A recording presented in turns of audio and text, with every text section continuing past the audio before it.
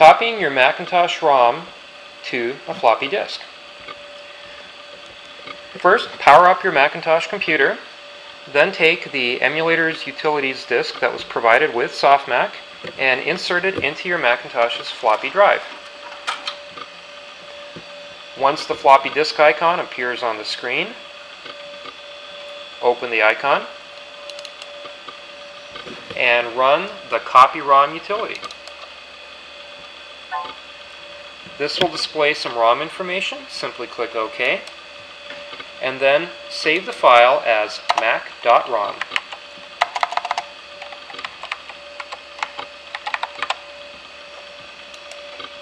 It will take about 10 seconds to save it to floppy disk. The computers that are supported are any of the Macintosh Quadra series computers, the Macintosh 2 series, and any of the Macintosh Plus, SE, and Classic models. Once the program is finished, which again takes about 10 or 15 seconds, depending on the size of the ROM, you can now simply eject the floppy by dragging the utility icon to the trash can. And now take that floppy disk to your PC.